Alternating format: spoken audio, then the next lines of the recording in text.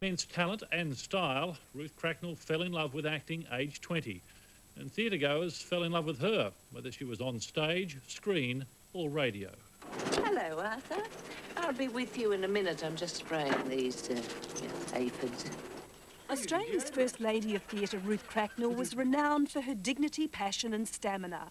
But it was a television role that came late in her life of manipulative Maggie Beare in the ABC series Mother and Son that made her a much-loved household name. But she elevated it to, um, to something that uh, um, told us a lot about the human condition, but uplifted us at the same time. Ruth Cracknell was born in Maitland on the 6th of July 1925. She began acting in radio at the age of 20. Her 56-year career was marked by extraordinary diversity, from the classics to Australian drama. Today, some of the people she worked with gathered to pay tribute.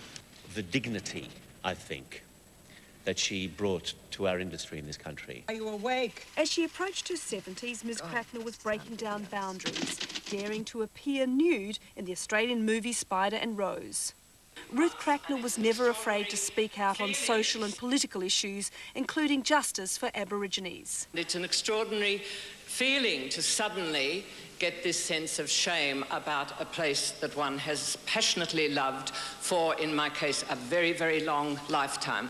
It was in the theatre that Ruth Cracknell met her greatest love, Eric Phillips. Their marriage lasted 41 years until his death in 1998. Ordinary daughters.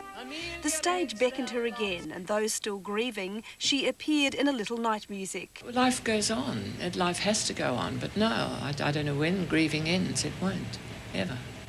She received many awards, including the inaugural Helpman Award for her outstanding contribution to the performing arts. Ruth Cracknell died in a Sydney nursing home last night, aged 76. Anne Maria Nicholson, ABC News.